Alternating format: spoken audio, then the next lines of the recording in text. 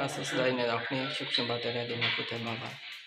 ហើយយើងនឹងមកធ្វើទូនៅខាងបរិយាពេញមួយបងស្នោអ្នកនរគ្នាទូនេះប្រភេទទូកៅអៅអ្នកនរគ្នាមនុស្សចូលភ្លុកបាទតែម្ដងចូលភ្លឹកបានម្ដងហ្នឹងហើយចូលបាទវាមានចំនួន7បើកអ្នកនរគ្នា7បើក ទូនេះអឺ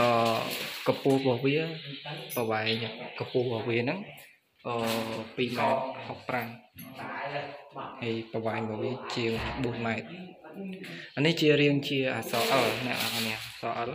រាងអក្សរ L យើងធ្វើទៅតាមមូលបាក់តាមតែណាទៅទៀងកន្លែងជាក់ស្ដែងឈើខាងនេះគឺធ្នង់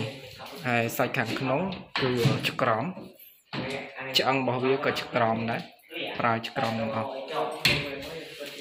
ចំពោះអ្នកដែលត្រូវការម៉ូតហ្នឹងអាចកំងបានខាងខ្ញុំមានទទួលដំឡើង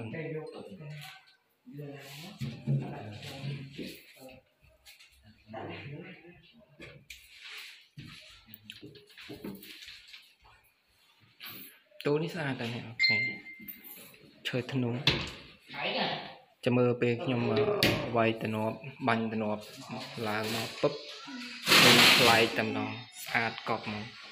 សាច់ប្រយោតែម្ដងអ្នកនរគ្នាមើលទៅពេលនេះគឺយើងឃើញតែសាច់វាឡើងប្រយោខ្លាំងតែដៃធ្វើបាក់យើងអត់តបានបាញ់ថ្នាំបាញ់លាបតំណប់អីទេនៅពេលដែលយើងលាបហើយគឺវាឡើងខ្លាំងតែម្ដងចំពោះបញ្ហាស្រ័យទីទួញនេះខាងខ្ញុំមើលមានលាបថ្នាំមេស៊ីការពារវាហើយហើយនឹងបាញ់ប្រលប់វាដើម្បីឲ្យវាស៊ីចេញជាមួយសាច់ ចំពោះបញ្ហាស្នាមដៃគោស្នាមពាកដីអីខ្ញុំវាចិត្តចិត្តតែមកហេបញ្ហាប្រេះអីហ្នឹង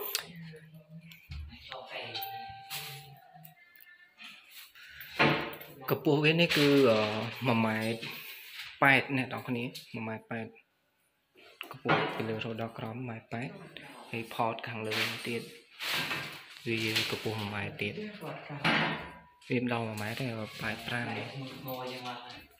ទាំងមើលបែបវាទៅឡើងសងឡើងសងបាទចឹងអរគុណចំពោះការតាមដាននៅវីដេអូនេះហើយអ្នកដែលត្រូវការជាងថ្នាំបាញ់ថ្នាំជួសជុលគ្រឿងសង្ហារឹម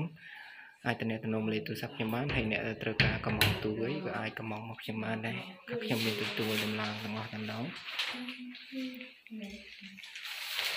អរគុណចំពោះការតាមដាននៅវីដេអូនេះ ជួបគ្នានៅវីដេអូក្រោយៗទៀតហើយកុំភ្លេចអ្នកដែលចូលមកទស្សនាវីដេអូថ្មីៗនេះសូមកុំភ្លេចជួយចុច Subscribe នៅ Channel នេះផងអរគុណទឹកចិត្តអ្នកទាំងអស់គ្នាដែលជួយគ្រប់គ្រងនៅ Channel នេះជម្រាបលាជួបគ្នានៅវីដេអូក្រោយៗទៀតអ្នកបងគាត់សួរថាឈើអីគេ